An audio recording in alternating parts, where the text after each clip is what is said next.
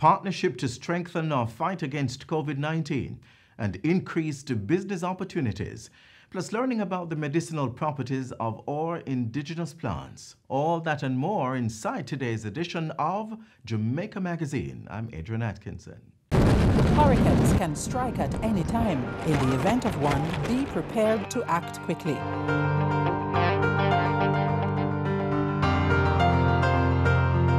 If a hurricane watch or warning has been issued, review your home disaster response plan.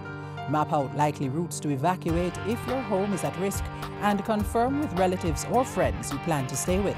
Also, confirm the location of the nearest shelter. Check your emergency supplies and restock if necessary. Remember, disasters do happen, so be prepared. Government has received 200 million yen or 262 million Jamaican dollars in grant support to purchase medical supplies for COVID-19 relief efforts. Let's hear more about how it will benefit our health sector.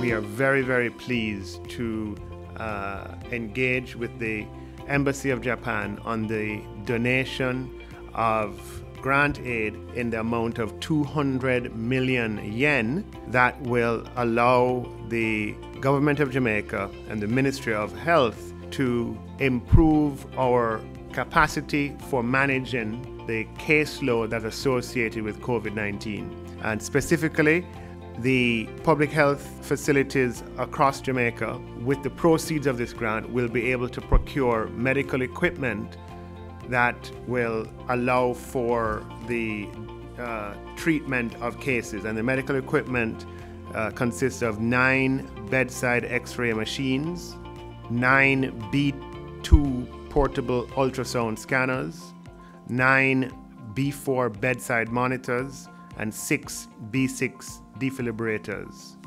In addition, 9 units of a D6 X ray protection screen and 18 units of D7 X ray protection apron.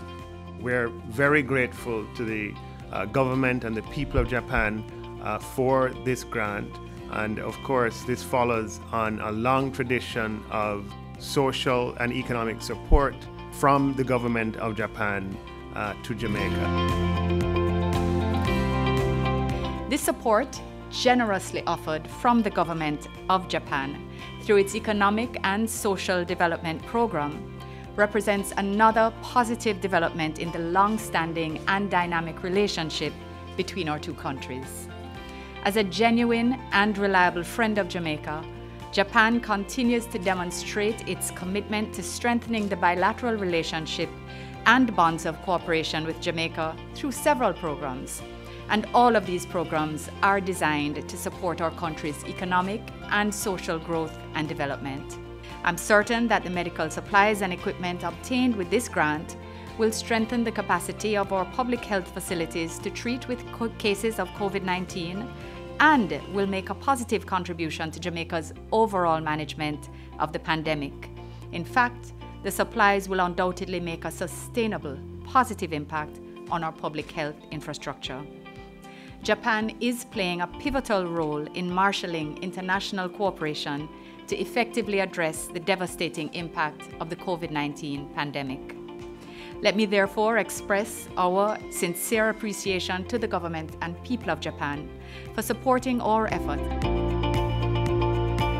Since the onslaught of this pandemic, our embassy has worked closely with Jamaican key authorities and government officials over more than one month's duration to identify how best we could provide our assistance for Jamaica's health system in, to, in order to combat this infectious disease going forward.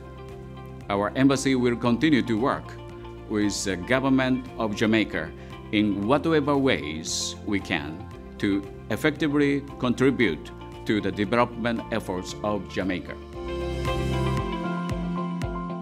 This grant aid, which is designed to provide medical equipment to strengthen the public health sector's capacity and response efforts, especially at this time when there's a gradual lifting of restrictions to allow Jamaicans stranded overseas to return home, as well as non nationals to the country, is quite timely. Keeping COVID out has been the focus of our inter- interventions so far. However, the country is now making the transition to living with COVID 19. The health system, therefore, has to have the ability to sustain the present measures and further to increase its capacity to manage more cases while continuing routine and emergency care for non COVID patients. This support from the government of Japan will enable the ministry to strengthen its role as we transition. The signing and exchange of notes between both governments underscores the importance of partnerships and international cooperation even during times of crises.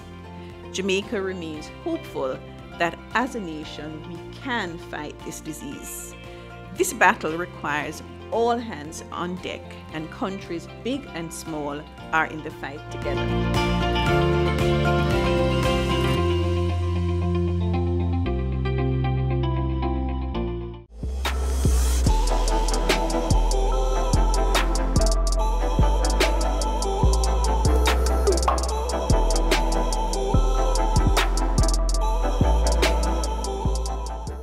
Up next, the Urban Development Corporation and JAMPRO have forged a partnership to market the UDC's properties and projects for business development and investment opportunities.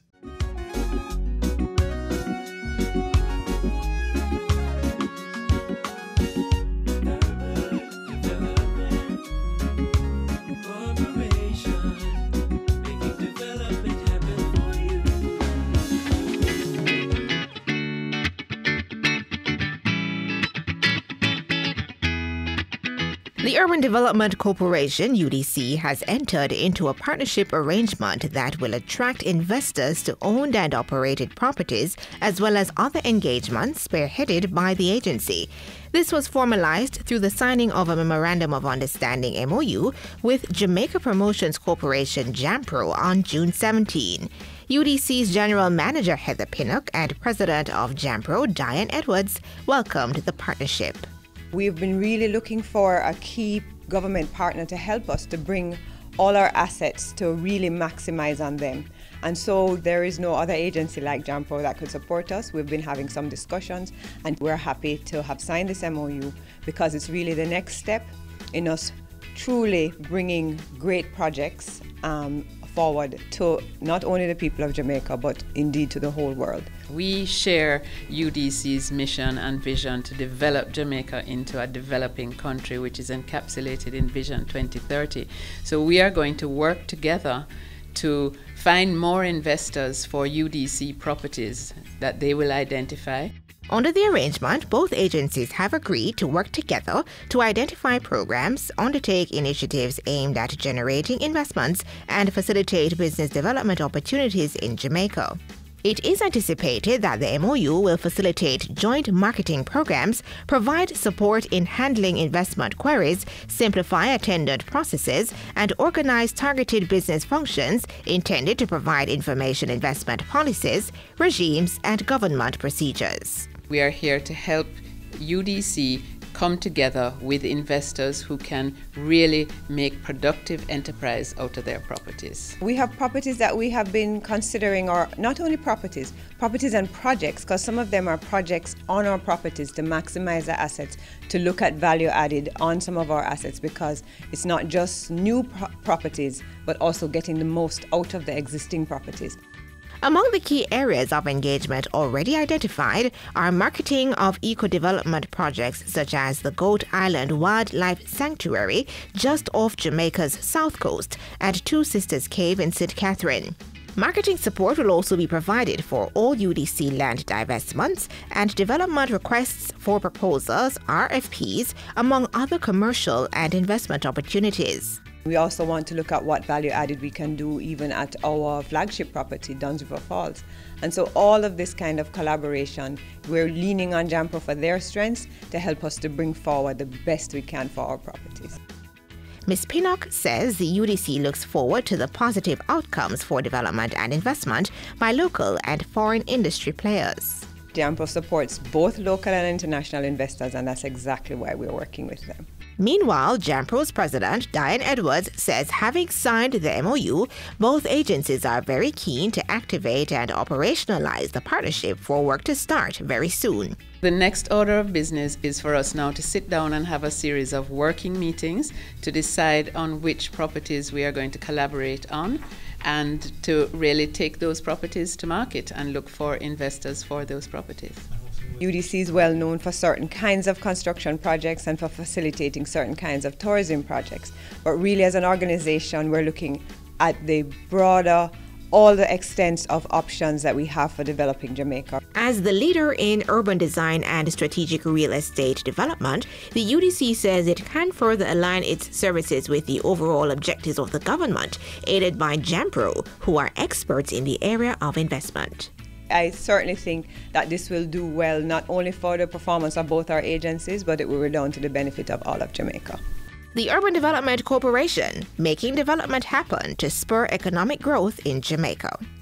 To learn more about the work of the Urban Development Corporation, call 876-656-8031 or visit their website at www.udcja.com. You may also follow them on Facebook, YouTube, Twitter, and Instagram, or visit their information center on the ground floor Kingston Mall, downtown Kingston.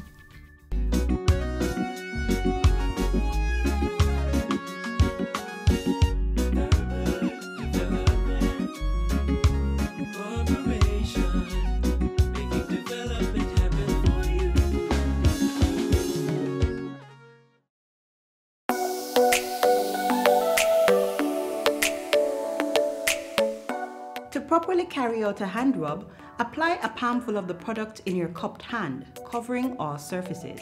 Rub your hands palm to palm. Rub your right palm over the back of your left hand with interlaced fingers and vice versa. Rub your hands palm to palm with fingers interlaced. Rub the back of your fingers to opposing palms with fingers interlocked. Rotationally rub backwards and forwards the clasped fingers of your right hand in your left palm and vice versa. Once your hands are dry, they are now safe.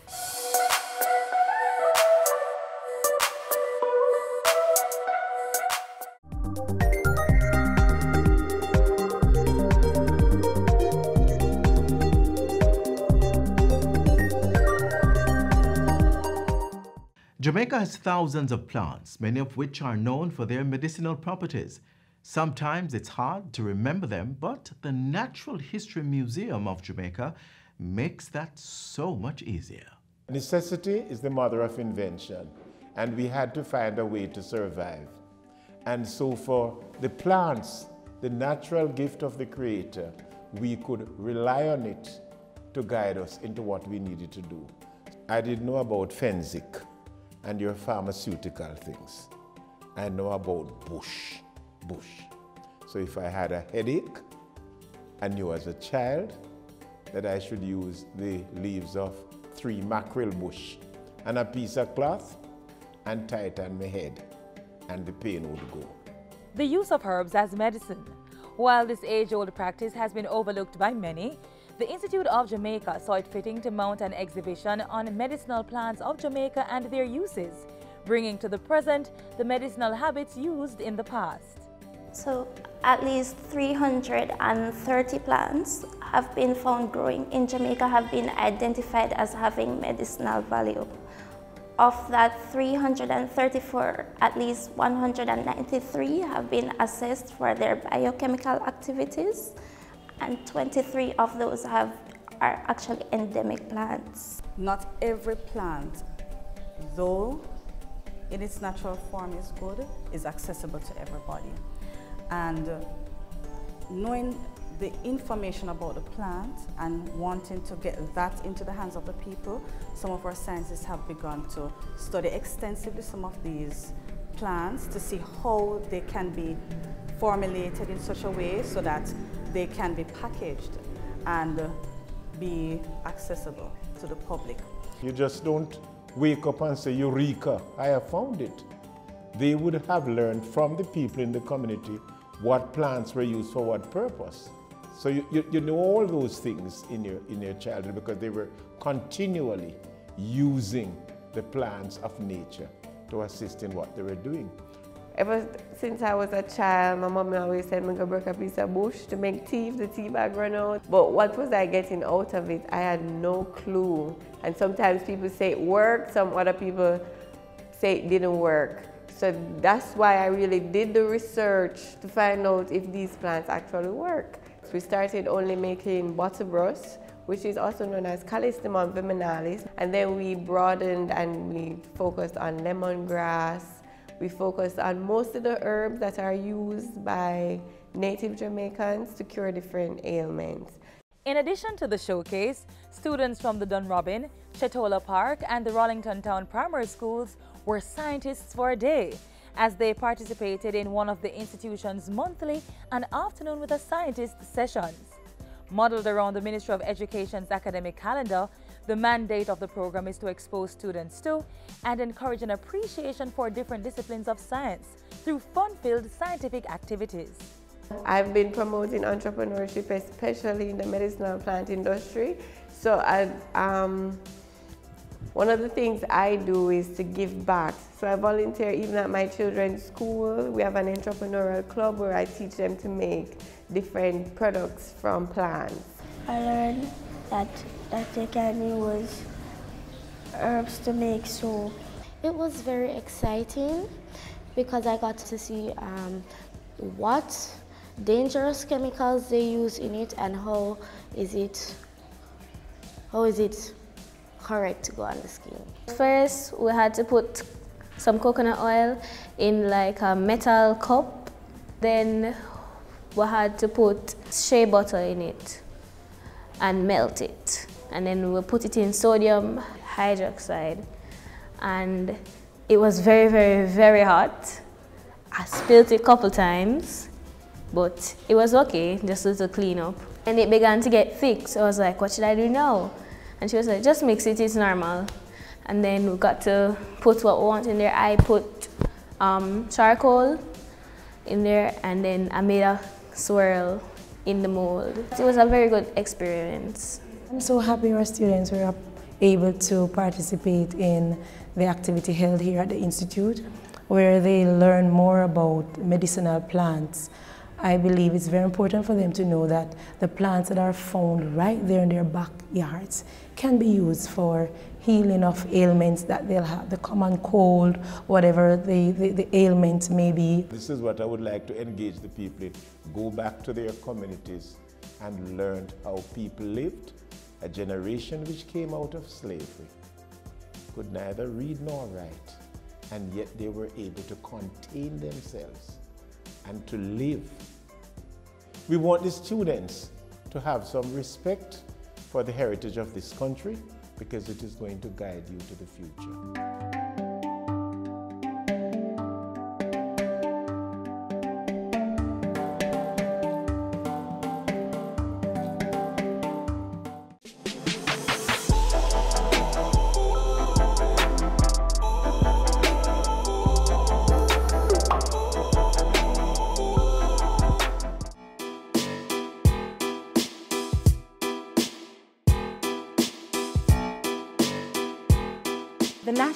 Parenting Support Commission continues to provide support for parents through this very difficult time.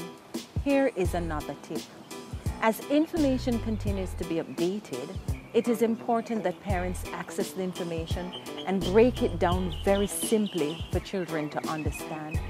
This will ensure that they feel as if you are in control. They will be inspired by your own confidence. They will feel protected and cared for.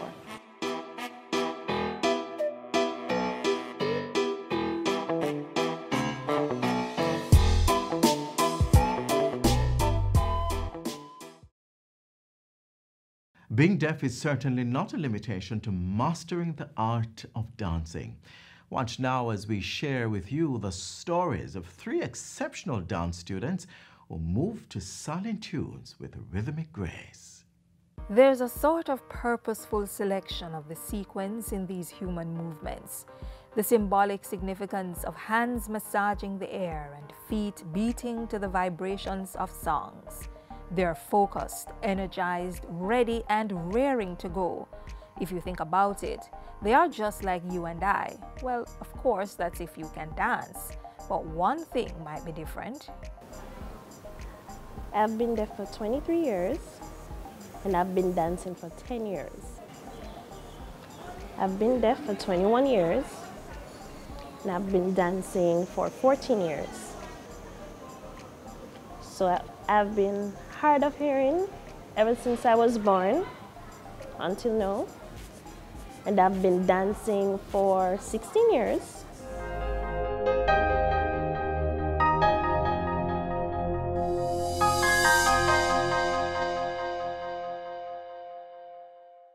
Yes, persons like Christoph, Kimberly, and Demani dance.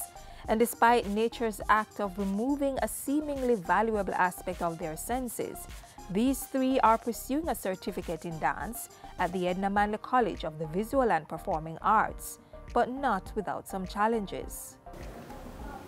Well, my experience here at first, when the three of us just arrived, were a bit awkward in terms of communicating, but then we were able to learn from each other, learning from the hearing students, and we were able to we had issues as well with the rhythm, keeping up with the rhythm at all times, but then we were eventually able to catch up and we started to improve gradually. So for me, my main issue is timing. So I try to work along closely with the other students in the class and the teacher as well. And then eventually I'm able to catch up with the timing in terms of the music. So my challenge during class, it's really to ensure that my body is moving with the timing and the music. Deaf dancers do move on the beat and in one accord with the rhythm. But the surprising element in this for most persons is just how are they able to, or even why did they choose dance? I hear a little of the music and I can feel the vibration on the floor as well. So it's not that bad for me. So I use that method throughout. With his sense of touch heightened through his loss of hearing, Damani can interpret the music through the vibrations he feels. Deaf dancers are visual learners, so for them, their instructors sign the moves or the counts. While other dancers are busy remembering the details of the moves, those like Damani, Kimberly, and Christoph are counting, keeping time, and watching keenly what their hearing peers are doing so they can interpret the steps.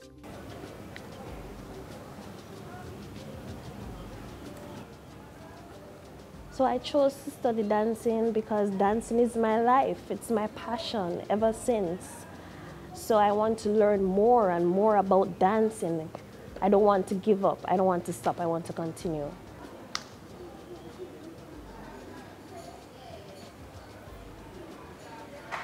Because my goal is to become a dancer in the future. So when I'm finished at Edna Manley College, I want to become a dancer and I want to perform around the world. So my goal is to become a dance teacher so that I can empower younger deaf children who really love dancing and empower them so that they can, you know, be as good as I am. It's their turn. But for acting dean at the School of Dance, being deaf is not the biggest obstacle for becoming a great dancer. I don't want to describe what we have as challenges. I want to describe them as opportunities to learn. What fundamental to dance is the ability to demonstrate and for the dancer to use their eyes and observe and learn the experience in a visual way and then demonstrate what it is that they have been taught. I think one of the interesting things about the deaf students is that their other senses are heightened and so they can, they're able to access the information in other ways um, and quite differently from the hearing students. So it's very interesting to see the learning dynamics, but the end result and the objective or the learning outcome of the experience are still achieved.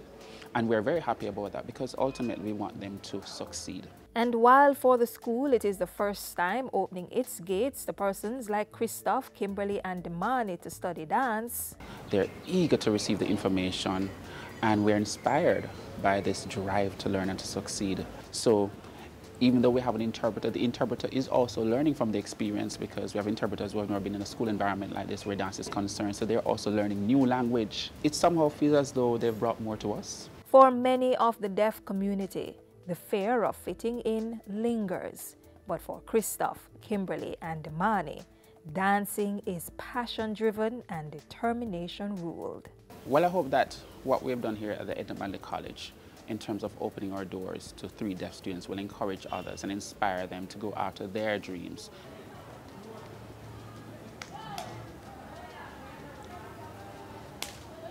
So I remember in high school, there was a quote that says, I believe I can achieve. I go by that. So in the Bible, it talks about I can do all things through Christ who strengthens me. I believe I can achieve.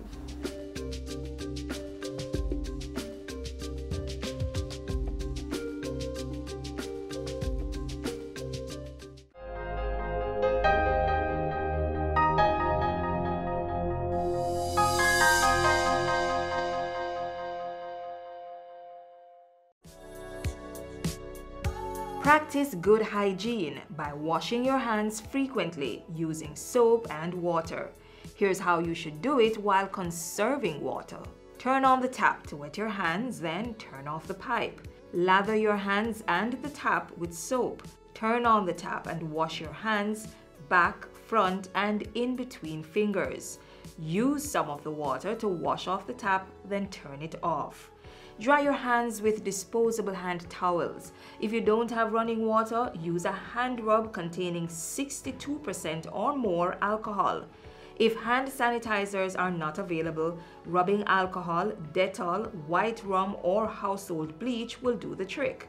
And if all else fails, let hand washing and the handling of potable water be a two person event. Each person will take turns pouring and washing hands with sitting water. Now is a good time to consider installing a tap on your containers to reduce the risk of water contamination. Faucets can be easily attached to drums, buckets, or 5 gallon water bottles. And to ensure that the outside of the containers are clean when recapping, disinfect it with hand rub containing alcohol that's 62% or more.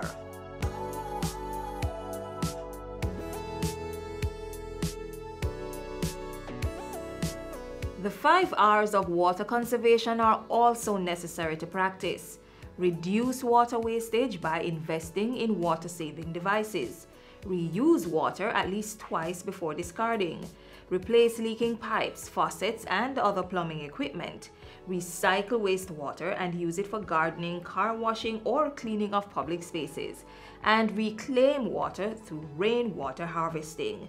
We all must play our part to ensure there's water to combat the coronavirus and stave off prolonged drought.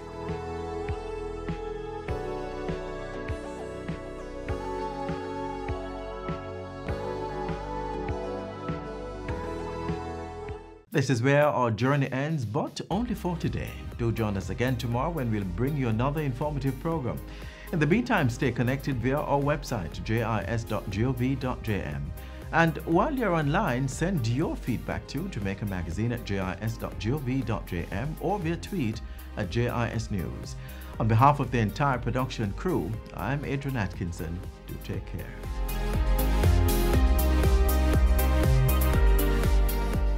This has been a production of the Jamaica Information Service, the voice of Jamaica.